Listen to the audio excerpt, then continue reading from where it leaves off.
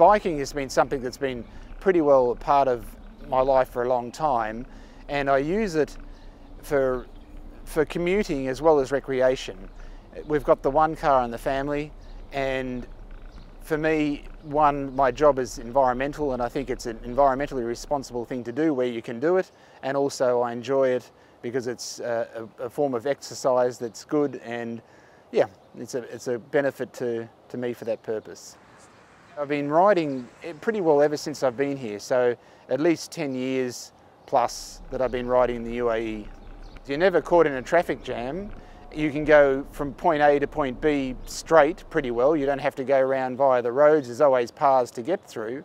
So indeed, for me, riding to work isn't much longer than driving and significantly quicker than using public transport, although the bus system's terrific, it's certainly slower. The temperature heat's not too bad. I guess during the summer months, the, the earlier you get out and the later you get out, the better. But I'm lucky in the sense that I have a shower at work, so I maintain two sets of clothes and change and shower when I get to work, and similarly on the way home can do the same.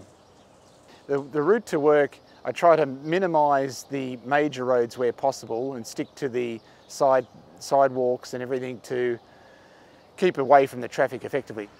In some areas there's facilities for cyclists, but the route that I take there isn't. And I think driver awareness is obviously a significant issue. So in some ways things are certainly improving, but it's still there is still a bit of work to do in that regard. So there's always danger when you're riding and there's no, no doubt about that. So what you have to try to do is make yourself as visible as possible and also try to keep yourself away from vehicles wherever practical. Obviously, paying attention to the road and drivers is important. I have had a couple of incidents. I've had two incidents since I've been riding where I've been hit both times in roundabouts.